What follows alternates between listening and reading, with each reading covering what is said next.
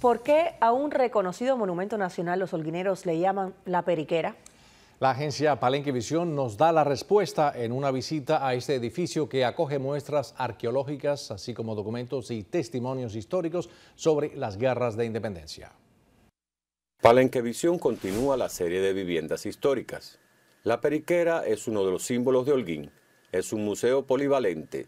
El edificio es monumento nacional por sus valores arquitectónicos y por su vinculación a todo el acontecer histórico local.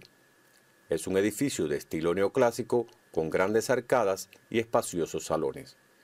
Se comenzó a construir en el año 1860 por el español Francisco Rondán, conocido como el hombre más rico de Holguín. Durante el sitio de Holguín por el Ejército Libertador, los insurrectos cubanos veían asomarse a los soldados españoles.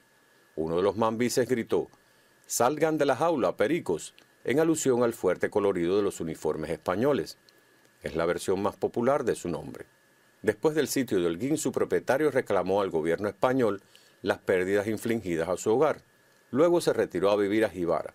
Las autoridades hispanas reconstruyeron los daños y alquilaron a los hijos del antiguo propietario el ala izquierda del inmueble para casa de gobierno.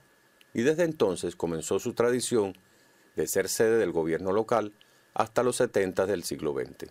El museo exhibe muestras de arqueología aborigen, así como documentos y testimonios históricos referidos a las guerras de independencia. Se exhibe como pieza única y preciada reliquia un hacha de piedra trabajada en forma de ídolo, que hoy constituye el símbolo oficial de la provincia.